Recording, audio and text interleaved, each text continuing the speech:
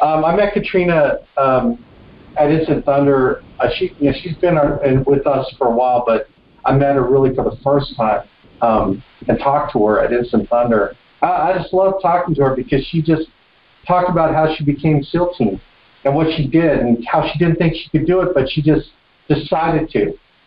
And so, uh, Katrina, I want you to, I really want, I want you to talk to the people, talk to my people. Talk to that, people. Yeah, talk to my people that are are discouraged. My people that are not dialing like they should be dialing. My people that are. Um, I want you to talk first your story, how you got in. I want you to talk about how you made the decision to go from where you were to where you are. Um, just kind of your process along the way and how and why you're killing it now. So if you can do that, I'll mute out because I know there's some people are probably getting some uh, echoing. But um, but uh, yeah, go ahead. Okay. Um, I was I was hired on by Mickey Cruz, um, who's direct to Mike and Noel. And Mickey, the the way I met Mickey is he came to my house to talk to me about mortgage protection. Um, I had I had just bought a new house, and we were we were trying to trying to see if we could get that accomplished. Um, and we met with Mickey several times. Um, Mickey actually, we didn't end up buying a policy from Mickey, um, and I, and I'll, I'll explain why I'm telling you that in a minute. Um, but Mickey did make a really great impression on us. Um, I I lost my job probably about five months later. You know, I thought I had a great job. I was excited about it, and suddenly it was not there anymore. Um, and uh, frankly, it's a horrible feeling. You know, it is to me, and I, I know other people have experienced that. It's just it's just awful to suddenly, you know, be working really hard and, and be without a job. So, I looked around for another position in um, auto claims, liability claims is what I was doing for 16 years, really. I was looking for another position doing that, and I probably looked for another position for a straight two weeks.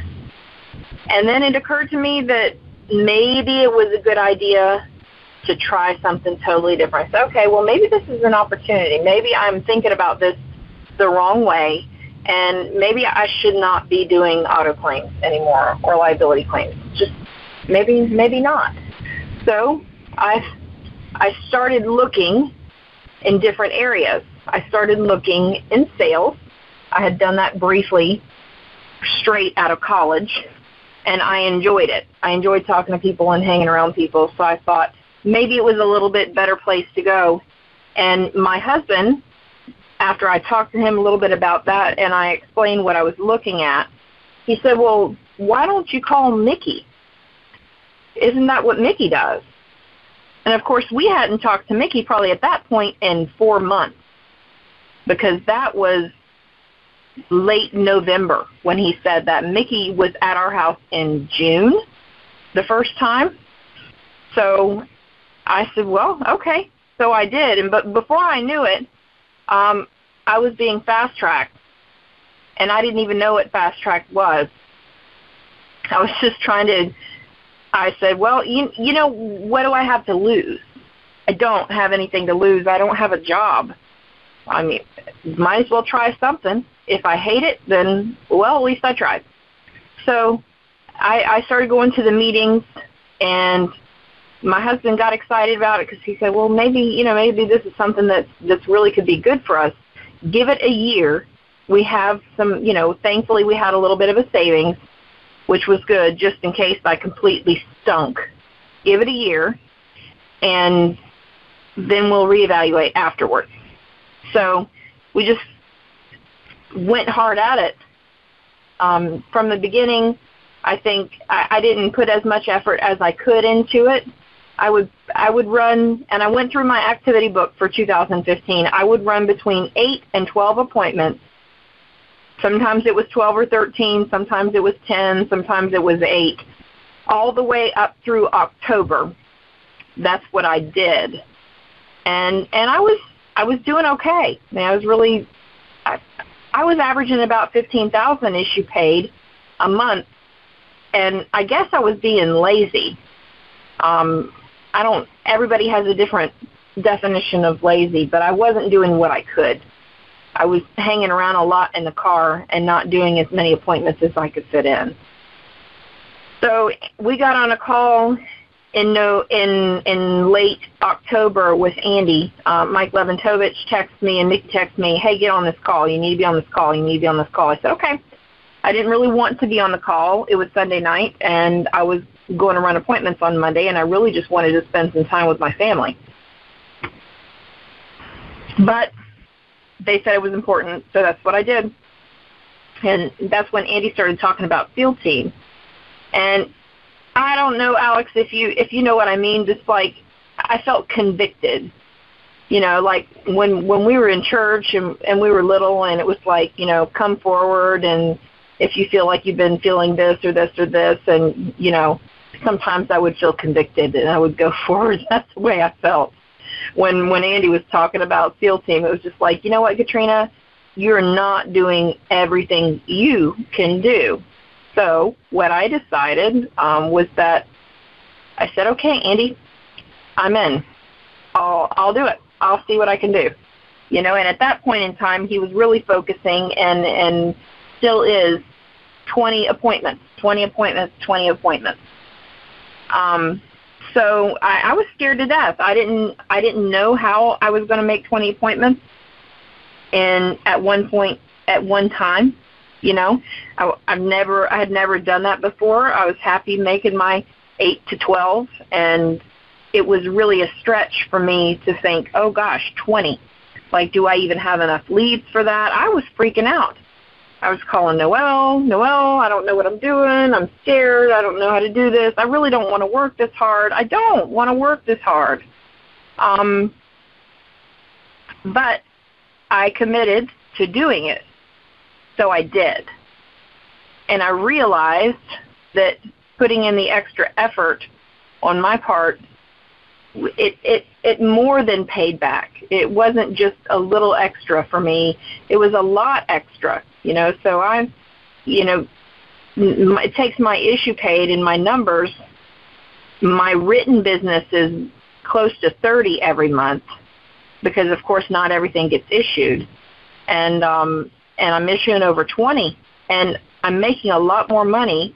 I'm building a team, and uh, and all the while I realize Andy has tricked me into doing it because you know we'll work for shooting guns and going on trips and you know going down and having nice dinners with Andy and and and the other leaders. Like I'll, I'll I'm in. I want to do that stuff. And I like I like that he is tricking us into work and and then giving us extra opportunities to have fun just for doing what we need to be doing. I mean it's pretty darn cool um but that that being said that's just kind of a little bit of the background I think for me, the main thing and what Andy says is what you focus on and what you think about is is who you are and what you do. So that's my focus. I need to issue pay at least twenty thousand dollars. I need to bring on contract people and get people started and get people working on my team. So I'm focused on that, and because I'm focused on that, is what's allowing me to achieve any little bit of it. Um, not every month is easy to do. I'm, I'm working a lot harder than I ever was, and sometimes if I have to run extra appointments, I have to run extra appointments, but I do what I need to do in order to hit those numbers. So, um, so tell me what, because you know doing fifteen thousand a month ain't bad either, but what? No, the, no, no, no. so, like, it was more of a leap of faith that doing the extra investment and time, because it was a money investment too to get enough leads to run 20 a week, right? Right. Right. So, what what month, what weekly investment did you go from and then what did you go to in order to get to kind of make that transition? Uh, probably, I would say with averages like three to five hundred. I started at three hundred. Uh, went up to five hundred. All right. Okay, so 300 to 500, and then what happened was you kind of really more, you more multiplied your results more than like a direct, like percentage increase. So like the increase in leads um, gave you more of a percentage increase in production, right? Yes. Yeah, it's crazy how that works. I've always said that that the the incremental increase is always going to produce more, and um, and that's cool. So give us a rundown on like what is your lead mix? What was your lead mix before, and what is your lead mix now? My lead mix has not changed. Um, I take every kind of lead that there is. I do not discriminate. So when you say every kind of lead, this includes direct mail mortgage, final expense, Yes, yes, yes, and yes. and Final expense, mortgage, A leads, A ones, two A's, three A's, rework, rework two. And R2s. I love it. So your lead mix of 300 going up to 500 is just a mixture of all these type of leads, and then you just pound the phone. How many dials do you think you average before at, at you know when you were doing before SEAL team and then post SEAL team? Um, so you're gonna laugh at me, Alex. Probably 75 to 80 before. Okay. Uh, right now I'm closer to 150. Geez, you know, Katrina, if I could get every agent to at least do 150 dials, oh my gosh, you know what I mean? Um, It's a start. it is a start. So, like, if you had to break down, like, in a typical week, could that three to 500 be like, you know, five A leads and, you know, 15 other of the other type of leads or something like that? Or you don't really track that? Um, I do, but it's changed recently because of Mickey. Mickey has taken lead responsibility now for his organization, so things have morphed a little bit, and I'm getting a lot more of the multi A's than I was in the rework. Okay. Um, what, what do you did you have any kind of feeling for what it kind of what it what had it been for the last few months? Like was the A leads thirty percent of your weekly distribution, fifty percent, twenty percent? Any feeling for that? I would say probably 40%. Okay, forty percent. That's cool. Now, just so people understand, what sales thing that you did before? Um, you said you were right out of college. What what what did you do right out of college? I sold car insurance for Geico over the phone. Seriously? Yep. Now, how long did you do that for? I did that for two and a half years while I was finishing college. Wow. So you're you're probably really good on the phone. I mean, like when you joined us, you probably got to be real good on the phone because of that. Yes. Yeah. But Yeah, I did. Well, I did that, and then my, my claims job was a telephone claims adjuster. okay. So everything I've done in my career has been over the phone. That's cool. All right, um, Yuval, can you text me back? Can you hear echoing? Is there any echoing? Um, I got a question. Oh, there's echoing. Okay, so do you do door knocking too, as well? I do. Um, I think if you mute while I'm talking, it won't echo, Alex. Um, I do door knocks, but I use door knocks as filler. So if I have a if I have a couple of no shows or something like that's going on, then then I'll have door knocks that I'll do. Um, but that's primarily not my focus because I if you're booking 20 appointments, you're probably going to be running behind on one or two, and you're probably going to need to go straight to your other appointment even if you do get a no show. So I have a little bit less time to door knock than I did before when I was running those eight appointments or ten appointments. Okay, that's cool. Um, can you like see my text? If I text you, can you talk and read my text at the same time? Yes, I can.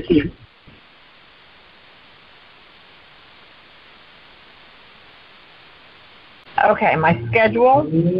Um, what I run right now, and I've I've not changed this, so that will give you a little bit of an indication too.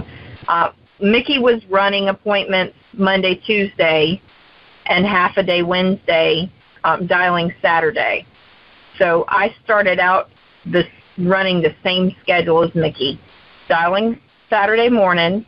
I have a backup dial session on Sundays uh, in the evening if I need it, and then I'll run all day between eight eight to ten p.m. Monday and Tuesday and then I'll run a half day Wednesday because we have hotspot on Wednesday night. So I want to make sure that I'm getting the hot hotspot on time.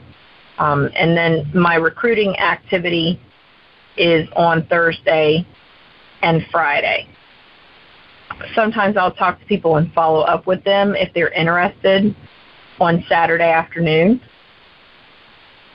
But that's that's my schedule, and the big thing about my schedule is that I I really stick to it. Once I have a schedule, that's what I'm doing, without a doubt. I don't do anything that's. I mean, if I'm running appointments, I'm running appointments. I don't. I don't get distracted on those days, especially on those days. And every every week, I'm still looking at booking 20 appointments. Um, depending on how my week's panning out, I've been doing a lot of traveling lately, and been been working been working with uh, with Mike and Noel, and you know, doing doing our getting some new hotspots going. So I've I've been doing a lot of that. But 20 appointments, I still, without a doubt, will book between 15 and 20 every single week. Um, I get as close to 20 as I can because the more opportunities, the the better. I want to make sure that I'm seeing as many people as I can um, referrals in the home are a big part of that. Um, I talk to people that I that I don't have to buy a lead on. It saves me a lot of money, and it's a lot better sale. So I'm I'm talking to people's family members and taking care of them where I can. Um, you know, I, I bought some new furniture the other day, and I'm I'm working on a policy for my sales lady for my couch and I'm I'm gonna try to hire her too. So I, I'm just talking to as many people as possible. If they have something, if they don't have something, I'm trying to sit down with them and see if I can help them. So of the um, so of your production every month, what percentage of that do you think comes from referral sales? I would say about 25% of my production right now. That rocks. Um, that's not it's not as high as I want it to be because I would love my lead bill to go down for sure. Um, but I'm working on that. Leads are great. I love them. How far do you have to travel from where you live to go run your um, appointments? Uh, I typically run appointments and uh, between an hour and an hour and a half away from my house. But once I get there, to be clear, I don't, I'm not going to drive an hour and a half and then you know run a couple appointments and then go home and then drive back another hour and a half. I'm going to book the entire day in that area, and the only time I'm going to go home is when I'm done for the night. Which most of the time I don't get home till 11 or 11:30 on average on Monday and Tuesday. because I'm really running all day. That takes a lot of schedule discipline to stay out there and to really get people to, to book them into your calendar, right? Yes. Yeah, it does.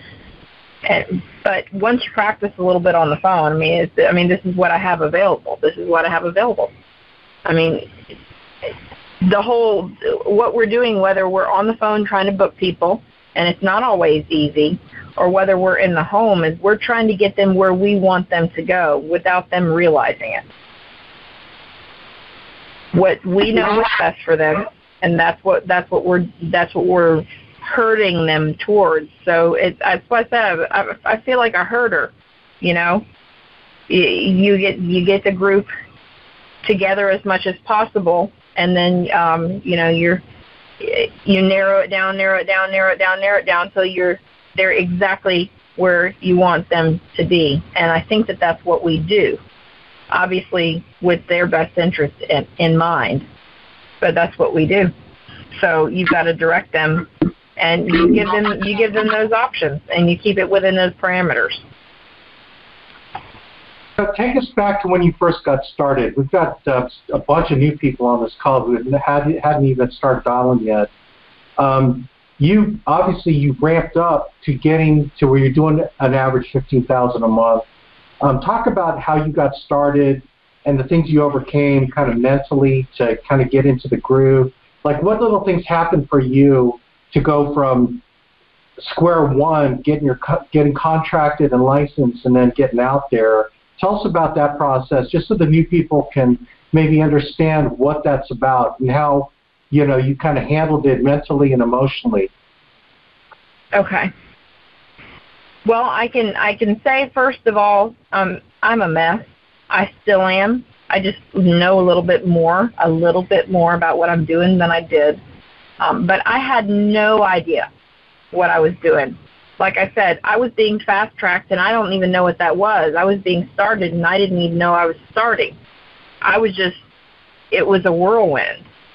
So when I got started, you know, as soon as I got my license, Mickey says, "Ooh, I want you to listen to this guy dial. Ooh, ooh, ooh, he's really great." So I go listen to Dane Levine dial, um, which was an awesome opportunity because he was right right down the road, and I I like to watch somebody and listen to them live dial, and then you know the next day it's let's get some leads. You're dialing, um, and I had no idea. He put a script in front of me, and I I just dialed, um, and I was scared to death. And you should have seen me before my first appointment. I was absolutely terrified. I had no idea what I was doing. I didn't learn about any products before I went into my first house. True story. No clue. None whatsoever. All I had was my ATM. And I didn't even get through it in my first house before they were like, sorry, we're not interested, goodbye. Talk about traumatic. I was like, oh my gosh, these people are not nice. I don't know if I can do this. And Mickey just kept giving me instruction. Okay, I want you to knock on these doors. I'll map this out for you. These are the leads that you have. Knock on these doors. So Katrina, scared to death Gustin, went and knocked on doors. My first my first time out in the field, I went and knocked on doors. Um, but what I did was follow directions. Um, I didn't know what I was doing, and I just had faith that I knew Mickey would would help point me in the right direction. Um, so when I did actually sit down with somebody, and I was able to stay through my whole presentation, as soon as I got to you know past past the page where we're finding out about them and and their situation, I called Mickey. That's all I did. I didn't know what product, I didn't know who to write or how to write. I just made a phone call and I said, "Hey, you know, I'm here with so and so and so." And he even coached me on how to say that, you know, uh, mortgage protection, final expense, like what are we looking at? And um, I have an idea of what could help you. Um, but I'm going to check. I'm going to check with my field underwriter, or I'm going to check with my manager, and just make sure we're on the same page. And then I picked up the phone, and he said, you know, sometimes he would he would close the deal for me. Sometimes he would tell me what to write. It just depended on the situation. Um, but that that's how I was able to write my first pieces of business. I, he told me specifically what to do, and I followed directions. I just went out and did it, and I ran the appointments that he wanted me to run. And um, I, I closed I closed two deals in my first week out in the field. I don't I don't remember what day it was, if it was my first day or or if it was my second day, but I but I closed a couple of my first my first week, and it it really um, it really made a difference because I was just following directions. I can't I can't I cannot stress that enough. There are people here who know how to do this. They've been doing it. And no matter how much experience I had, I didn't know what I was doing.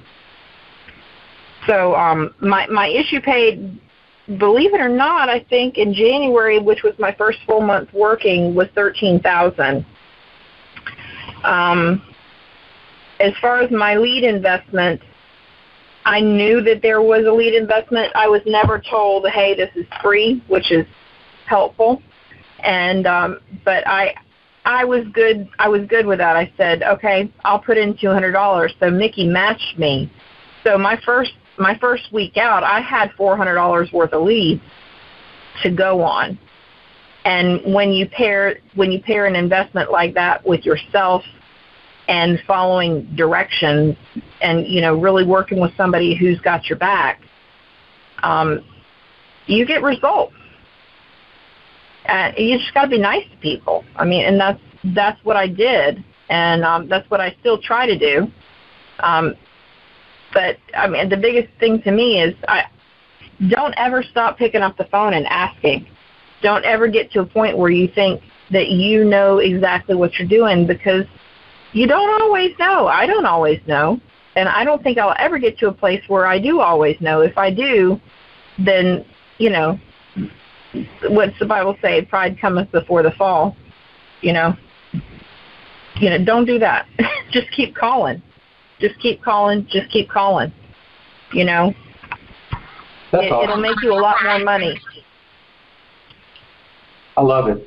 Okay, what I'm going to do is I'm going to unmute the line, and I'm going to mute because I think echo comes when I'm un, when I'm unmuted. So I'm going to open up the line, and if you got background noise, if you can mute yourself. Um, but I'm going to open this up for questions. I hope y'all can just. I don't care if you're brand new. I don't care if you're experienced. Don't be scared, and uh, let's ask Katrina some questions. So I'm going to mute, unmute everyone, and I'll mute myself.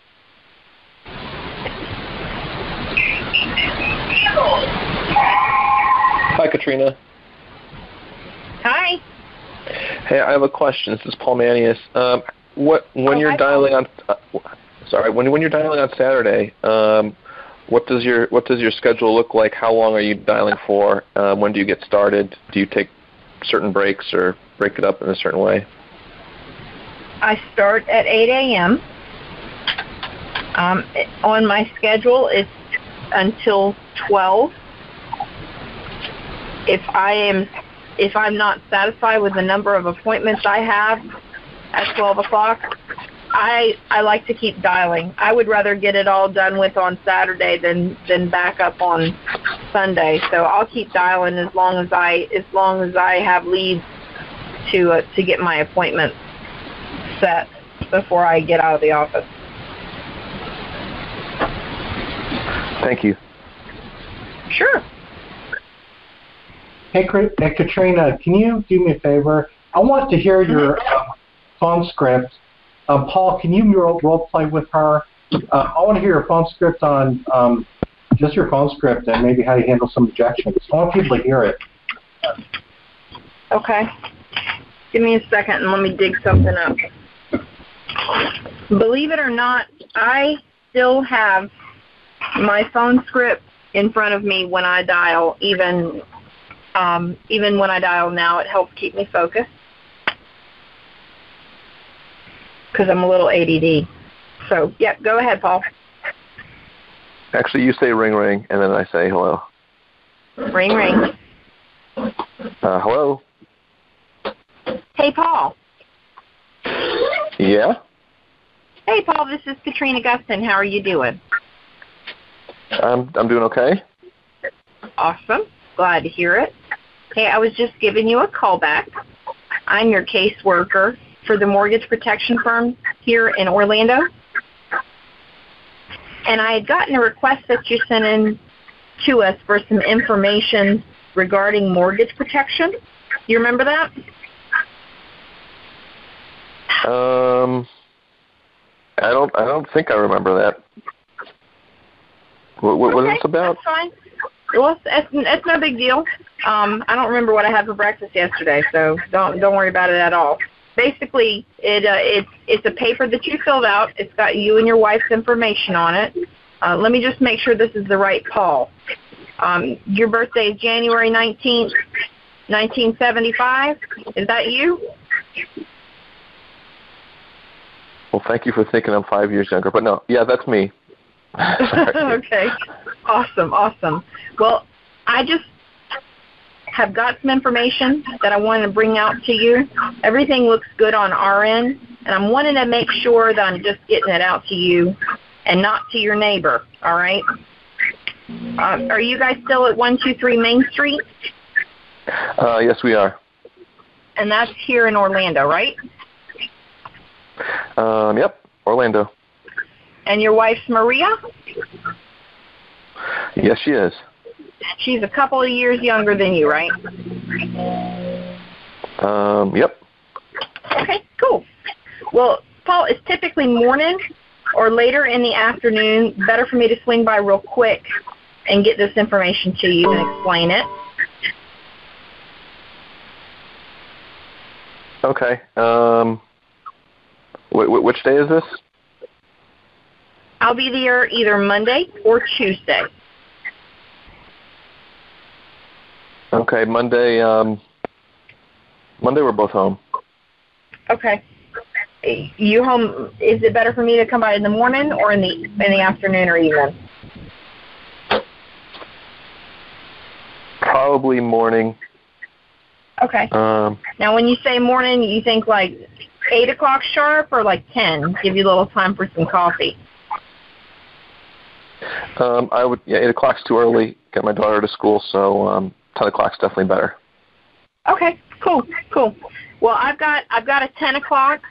Uh, well, I'll tell you, between ten or ten thirty, I'll be there, just depending on traffic. I drive an electric blue Ford Explorer, so you cannot miss me. When I come up, just don't stick any dogs on me or anything crazy like that. Okay? Okay, our dog's really friendly. He's a black lab. Awesome. I love dogs. Cool. And hey, do you have um do you have a pen and a piece of paper? I want to give you a reference number so you can check me out, make sure that it's me coming by. Sure. Okay, you ready? Mhm. It's eight two eight seven one five one. Eight two eight seven one five one. Okay. All right. So make sure you tell Maria I'm coming by. Okay. I don't want to surprise her too much. Oh yeah. All right. Yeah, I gotta remember to tell her. Okay, sure. Thanks, Paul. Have a great day. I'll see you on Monday. All right. See you then. All right. Bye. Okay, that was very straightforward. I love it. So tell us, like, what are your top, like, three objections that you get, and how do you handle them? I think probably the top one is I'm not interested or I'm not interested anymore. Um, and all the objections that I handle are essentially the same thing. That's cool. It's not a problem. It makes my job a heck of a lot easier. When we get these requests in the mail, we're just required to make sure that we get the information out to you. And then I proceed to ask the question again, morning or afternoon. Okay, that's awesome. So tell us, what are your keys to having a high show rate? So, like, what is your um, your show rate percentage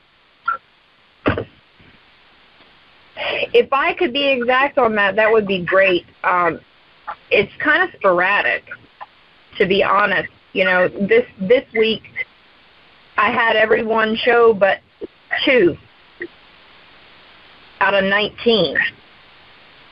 Um, the week before that was a lot different. You know, I, I probably had six or seven no shows. Um, it, it's you know from week to week, I it's pretty um, it's pretty sporadic. It, it never goes higher than about 40% or 50%. Um, but that's on a real bad week. Yeah, like you your no-show rate. So, isn't it?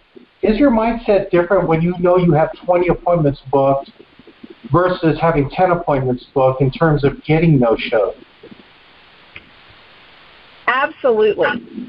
I feel a lot better when I know that I have that I have more appointments to go. Um, and just like when you get in a house and and you try everything you can and you just cannot help them.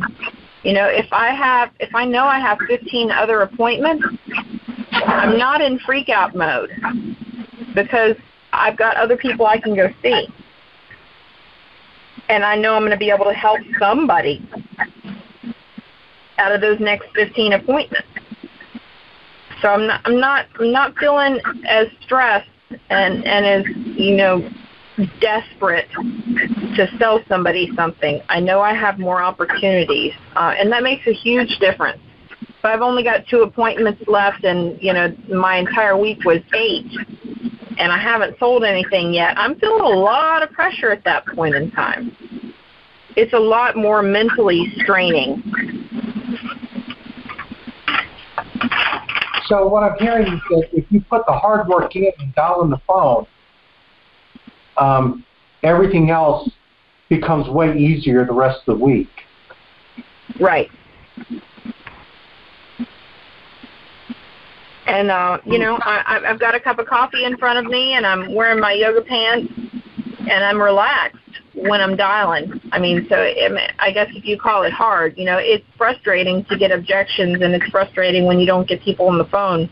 But it's the easiest hard work I've ever done. Really. Yeah, that's the grinding part, isn't it? In your yoga pants, dialing the phone, you know, you're not on a roof in the middle of July roofing somebody's roof. You know. Nope. I've got my feet up, and sometimes Mickey's dog's on my lap, and I'm I'm just relaxed. So you'd be about put. All right. Any other questions out there? Hey, Susan, Hi. And I was wondering about how many appointments per day. So you're booking about 20 a week, but how many appointments per day? Are you doing like 10 a day? And if so, how far apart are you scheduling them? Um, the most I will book in a day is eight. Normally, I would say, and I schedule mine an hour and a half apart. And do you get the fudge time? Do you tell them, is it okay if I show up half hour early or half hour late? Do you do the fudge time thing? I give them an hour window. Um, anytime I have not given somebody an hour window, it bites me in the butt because it's inevitable that I'm going to be running late. So when you say an hour window, how are you giving them that hour? You're going to tell them I'm going to be there between nine and ten, or how do you give them the hour window? Well, basically, I'll tell him, you know, like I told him, you know, at, around 10 o'clock. Okay, and so so give me and so once he agrees to that, because I want the agreement at first, I'll say, you know, give me between 10 and 11. Sometimes I get held up in appointments, and Orlando cra- traffic is crazy. So give me a little leeway. I will be there. I don't really give them an option. But that's after I've already set the appointment and got their agreement. I love that. I love how you did that. That that was such an easy, assumptive close on telling them that you could be, you know, within that hour. Yep. Any other questions? I'm just trying to make it simple for them.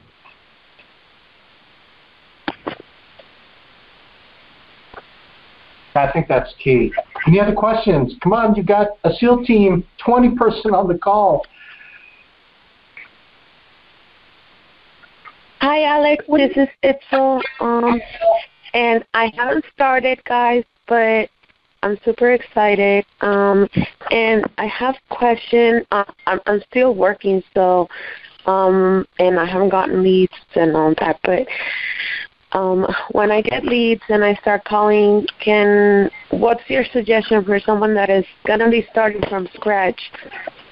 Um, to get you know to be able to do this like full time, go right away into full time if you have a job. If that makes sense. Um, Alex, Alex may disagree. I don't know. Most of the time, what I would say is, you know, if you have a job, that's it's not a bad thing. Um, but I, I, I wouldn't necessarily stop my job without serious consideration and serious discussion with my upline. I agree. Ever. Um, I was put into the situation because I kind of got fired, um, and I had to make it work. And and thank God the the door was open for me, and and that was really where I was supposed to be going. Um, so that it worked out in that way that you know I, I I was walking into something that you know I was supposed to be doing. Um, for somebody who's starting out who has a job, um, I, I typically wouldn't say, "Oh yes, quit your job." No, maybe not so much. Um, I wouldn't do it. And and when I did consider it, I would be like, "Alex, what do you think about this?" Or you know, in my case, Mickey, Mike, Alex, Andy, what should I do here? Because everybody's situation is different, uh, and it depends on what your responsibilities are and and how well you're doing and how much money you need to make and there's a bunch of variables so yeah you got to talk to somebody about that for sure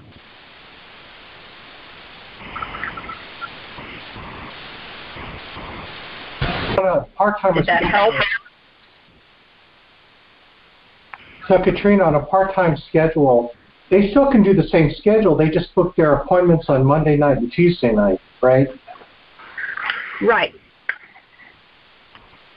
They could do the same schedule or they could they could you know book appointments friday night or friday morning before they go to work or friday during lunch break and run saturday and sunday full days if they wanted to um, if they were off saturday and sunday for instance i mean you can you can work it in on the times that you're off if if this is something you really want to do um, you just got to set set a schedule that's going to work for you every single week as much as possible. So, how, Katrina, how do you get over the low times where you're not feeling very good about your performance, about yourself, about maybe distractions or family things going on or life things going on? What do you do to keep your mind right to continue to perform and do the thing you don't feel like doing? Well, first first thing is my schedule is there regardless of how I feel. I book my appointments. I'm going to run my appointments. It doesn't matter how I feel unless somebody puts me in the hospital for something serious. I am running I'm running appointments. I'm dialing. I'm doing what I have to do. Um, I have people though that I call or I text or I call and text like emergency, emergency. I feel like crud. You know, help me, help me get my mind right. Help me, let me know that I can do this. Help me remember that I'm I'm okay at this. Um, and I talk to I talk to people all the time in that case, all the time, because it's it's never as perfect as you want it to be. I, mean, I have extremely high expectations for myself, and when I don't meet those expectations, I tend to get really mad. Um, and so, at some point during the week, during most weeks, I I have a moment or ten where I'm pretty upset, um, and that's just me. But I don't I don't I'm not alone being upset if I ever am. If something happens and I'm bothered or I'm unhappy with what I'm doing or what I've accomplished, I'm there's I'm not alone at that point in time. I'm talking to people. And it depends on it depends on the situation as to who I'm talking to. Sometimes I need Noel. Sometimes I'll call my running buddy Angela Manzo. Sometimes I'll call Mickey. Sometimes I'll call my husband and he sends me my deposit from the next you know from the morning before and then I don't feel so mad, you know. It's like, oh yeah, I made some money. Okay. it just it just it just depends on what the situation is, but I have multiple people that I talk to on a regular basis because I can't stop. So I've got to feel okay while I'm going. I got to make it work. How important are hotspots, the book reading, the conference calls, all aspects of our system? How important is that for you to keep on track? That's the first question. Second question is, do you ever feel burned out? And then how do you get over that burned out feeling? The hotspots, the reading, the conference calls, I mean, it it's all part of to me, it's all part of getting your mind right it's a 100% mental business. It's not hard physical work. None of it is. Not at all. Um, but mentally, there are ups and downs. So those things are the things that help to me. They help. They help stabilize me. They help get me excited when I when I need some some a boost. When I need to remember, oh yeah, I like this. I want to do this. What is my dream? Why am I doing this? You know, it, it, it helps remind me what's important and why I'm doing it. And then I'm able to help other people. And sometimes in order to help yourself, you've got to help somebody else. You know, so I mean, I might feel like I'm having a bad week at, you know, two thousand or twenty five hundred dollars in AP. That'll make me mad, you know. Maybe I talk to somebody at Hotspot who's never written a policy and who's struggling to sell one. Well, I feel a whole lot less mad at my 2500 at that point in time. Um, and it gives me perspective, but it allows me to help other people too, which helps me get my mind right because I'm constantly needing to get my mind right. And the more you're in the business and the longer the longer you're around and you hear that, the more you realize what I mean when I say that. how important is your faith life to you with regard to this business? Faith, you said, Alex? Your faith life, your spiritual life, how important is that to you with regard to this business? Um, I would say it's it's vital. It's really, really, really important. And I notice when I'm not as active in that that I have more problems. Um, I have, you know, it's just like the last, not not this past week, but the week before. You know, I had gone out with Noel the first week of May and done hotspot, so I didn't run business. So I was feeling a little bit crunched for time in terms of issuing enough, writing enough, issuing enough in three weeks as opposed to four weeks because I was I was not home for an entire week. So I was feeling crunched, and then the the week after that, you know, I just I it was like slogging through mud.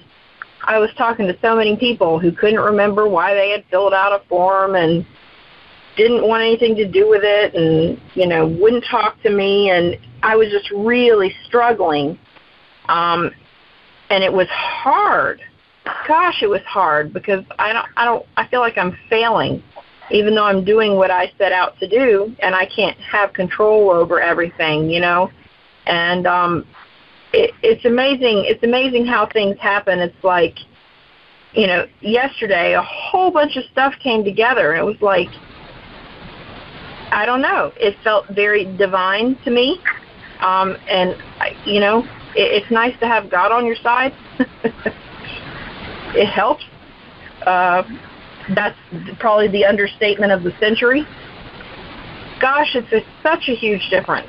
You know, it's like all of a sudden I felt like a little bit of a weight had been lifted, and I was so thankful. You know, I had people calling me back, agents calling me back who I hadn't heard from, people who I was supposed to contract and I hadn't heard from. All of a sudden they're calling me back. Hey, I'm so sorry this happened to me, and this happened to me, and this happened to me. And, you know, a client from a year ago who canceled her policy almost as soon as I had gotten it issued. She she spent two hours at the bank trying to find who she needed to call to find me again. And then she called Foresters in Ontario, and they looked up the policy that she had canceled, found my number, and gave her my number. And she called me and said, "Hey, can we start again? I need this." Can you help me? I needed to find you. It took me a long time to found, find you, but I found you. Um, just a lot of really crazy, cool stuff happened. You know, an agent that I haven't talked to in several months had a serious tragedy go on. I didn't know she would do it anything at all, and she just up and contacted me, told me that she she took two buses and a train to get to the hotspots to listen to Michelle Allman dial so she could learn how to dial and how she finished reading Millionaire Maker Manual. I didn't know any of this stuff was going on. And here's the thing is that it was all in the works. It was all in the works. And it all came to fruition at the same time. Which was a major message to me right there. Like, you know, quit freaking out and lean on me. I got this. I'll take care of you It's going to work out. You know, and it was like boom, boom, boom, boom. See, I told you, it works out. Ha ha. yeah, God has it's a way. A major, God has a way of doing that, doesn't he? Um, I think he just makes you squirm for a little while till you realize that it's not all something that you can help and you can do and you can fix. It's not all about me. Oh my gosh, you are so awesome. I need a little bit of church right now, and and uh, preach it, Katrina. Preach it, white girl. That's exactly what happened. oh man, you know what? I I've already imposed on your time. Thank you. Oh my gosh, so much. You have no idea what this call has meant to my team and to me. And I appreciate you going out there serving on those hot spots. I was promoting you like crazy. I always talk about you like crazy. So it's uh, special to have you on our call. And um, thank you so much, Katrina. You rock. And anything we can sure. do, just call on me. come, come down and visit us in Orlando. I will. I promise you I will. Because your call is so awesome, I will do that. And you're awesome. So thank you so much. God bless you. Thanks, everybody. Uh, any anytime, you need me anytime, call me. Awesome. Okay, we are going to end it, but uh, man, get out there, gang. I hope you're inspired by Take care. God bless.